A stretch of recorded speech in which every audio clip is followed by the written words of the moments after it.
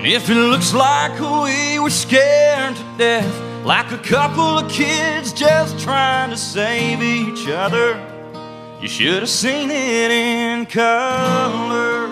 Alright, guys, it's 10:58 p.m. This is the first thing I need to do because my cat came from Austin today and she got the Fifty Shades movies her stocking for Christmas because she's been them for a while. Her and Mama. So I was watching YouTube on the phone and stuff. So I didn't want to see that movie, those movies anyway.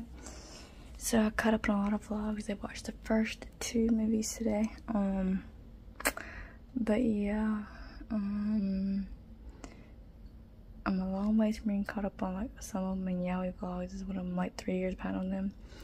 But their oldest son, Branson, has had a YouTube channel his own for like two years now.